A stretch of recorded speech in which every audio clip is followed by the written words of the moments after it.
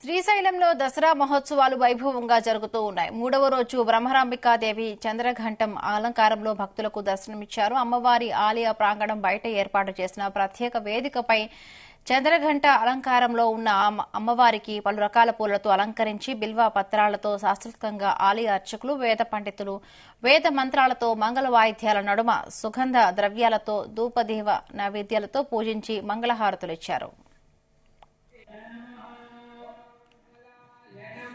from day.